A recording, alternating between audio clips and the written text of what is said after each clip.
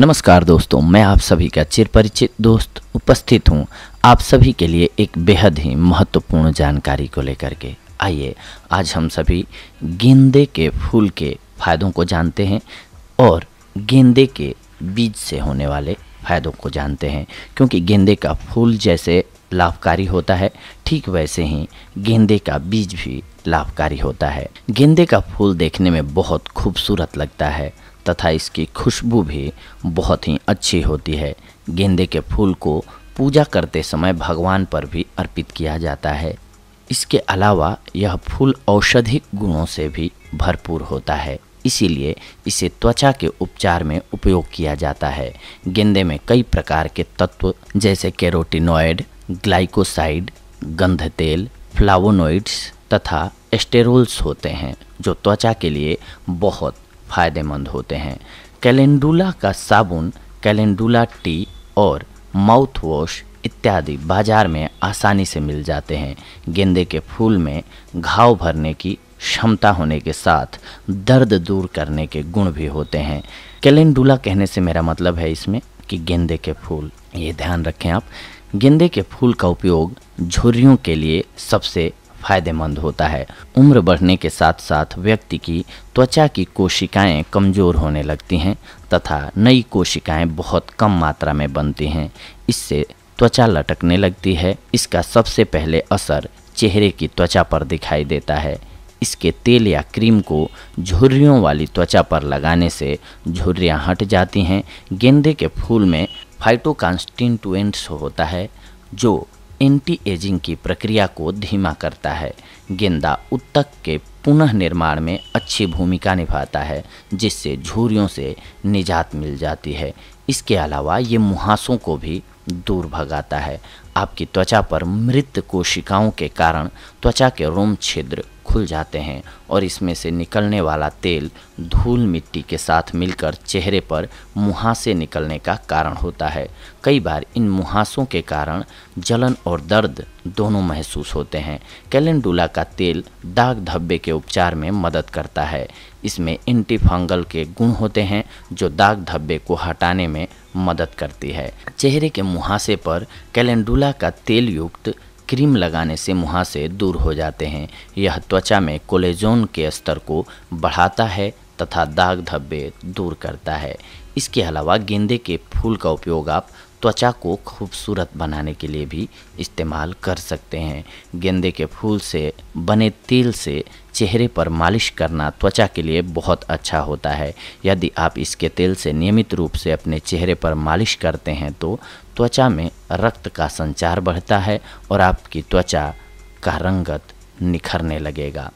इसके अलावा मैंने आपको पहले ही बताया कि गेंदे के बीजों का भी उपयोग बेहद ही कारगर दवा के रूप में किया जाता है, खास करके पौरुष शक्ति को बढ़ाने के लिए। जैसे कि आप जानते हैं कि पौरुष शक्ति की कमज़ोरी होने या कमी होने की वजह से कई लोग माँ बाप नहीं बन पाते हैं, खास करके पापा नहीं बन पाते हैं। तो इसके लिए ये सबसे अच्छी दवा के रूप में कार्य करता है। इसके लिए आपको क्या करना होगा, इस पर ध्यान दीजिए।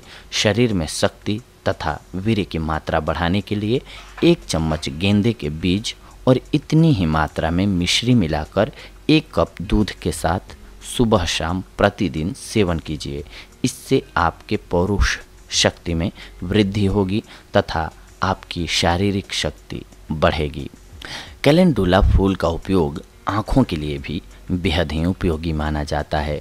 गेंदे की चाय में एंटीऑक्सीडेंट्स लुटेइन जेक्सनथीन लेकोपेन इत्यादि होते हैं, जो नेत्र रोग और अंधापन को रोकने में मदद करती है। गेंदा आँखों के लिए एंटीसेप्टिक का कार्य करती है। इसके रस से लाल पीड़ादायक आँखों को धोने से आँखों में बहुत फ़ायदा होता है। गेंदा फूल के फ़ायदे घाव को भरने में भी अतुलनीय हैं।